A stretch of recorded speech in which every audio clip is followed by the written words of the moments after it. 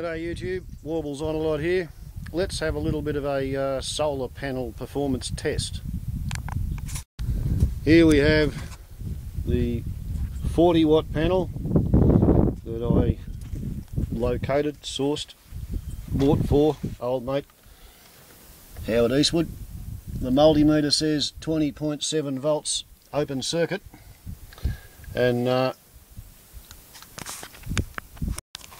when we reconfigure the multimeter to give us amps, we get 2.8 amps open circuit.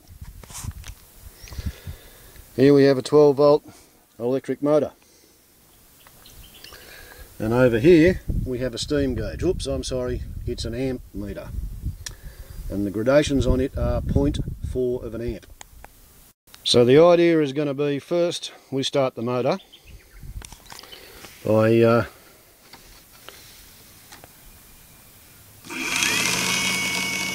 connecting the wires. And the electric motor is drawing 0.8 of an amp at 19.7 volts. So, now let's see what happens when we put the brakes on the motor.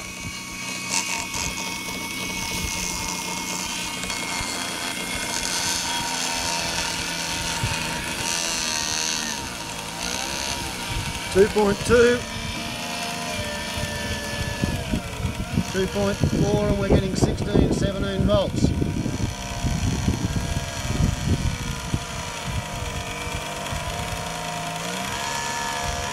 Sixteen volts, two point two amps. So I would have to say, as an electric braking test, stop it, we go down to bugger all.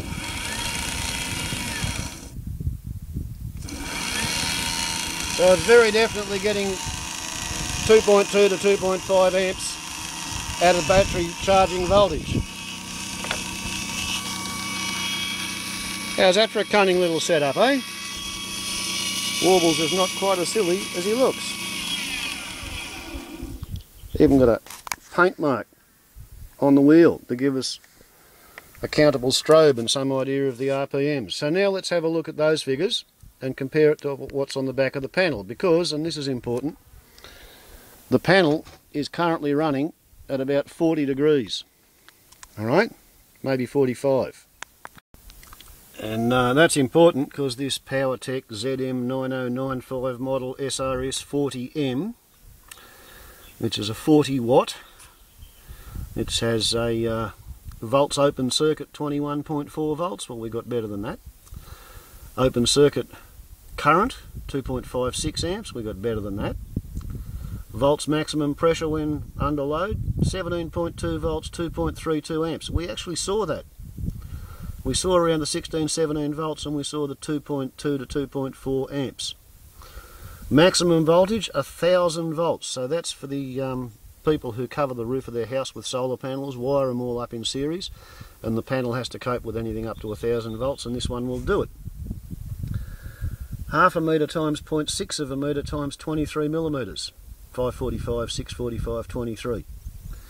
And here we have the interesting one. Test conditions, 1000 watts per square metre. Well, that's midday at the equator on the equinox. Doesn't get any better than that anywhere on Earth and 25 degrees Celsius. Now to get a solar panel like this running at 25 degrees Celsius you're going to need an air temperature of 10 degrees Celsius or below and you're going to need maybe a 25 mile an hour wind to blow the heat away from the panel. However, at uh, 40 to 45 degrees Celsius this panel meets those specifications. And that makes me quite a happy little warbles because I used somebody else's money to buy this panel to put it on his car for him and he trusted me to get him a good panel. And when I took it out of the box and I saw that it was temperature rated at 25 degrees Celsius I thought oh no I've gone and bought him a panel that's only actually a 30 watt panel. Right? Because that was what the PV manufacturers used to do a couple of years ago. They would sell panels that never ever performed in real life anything like as good as what they said they would on the label on the back. Well, this one's just proved that at twice the rated temperature, it still pumps out the electricity.